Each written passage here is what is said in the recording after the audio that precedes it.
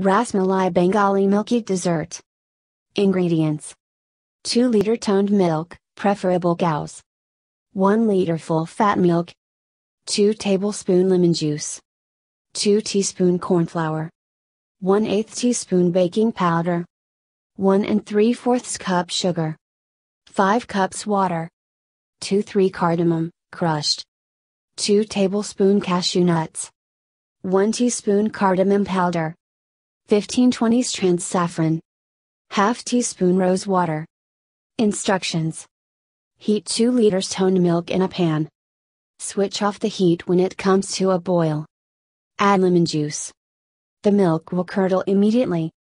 Add 2 cups of ice cubes in the curdled milk immediately. Drain the curdled milk in a cheesecloth. Wash the cheese under running water to remove the traces of lemon juice. Hang the cheesecloth for an hour to drain all the whey from the cheese. Meanwhile, heat the full fat milk in a heavy bottom pan. Add saffron and cook on low heat till milk is reduced to half. Blend 1 4th cup sugar and cashew nuts in a blender.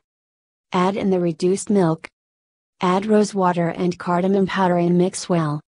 Keep the reduced milk aside. Remove the chenna from the cheesecloth.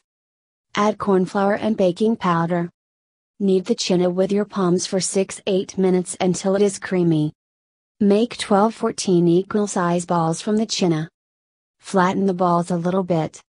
Heat 1 and half cup sugar and water in a pressure cooker. When the water comes to a rolling boil, add the chenna balls.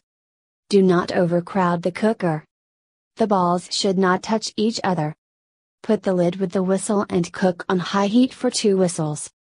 Remove the cooker from heat and let the pressure release on its own. Open the cooker and take out the rasmalai gently and add in the reduced milk. Make all the rasmalai in the same fashion. Add 2-3 tablespoon water every time before adding the balls in the cooker. Refrigerate the rasmalai for at least 5-6 hours before serving. Garnish with dry fruit slivers before serving.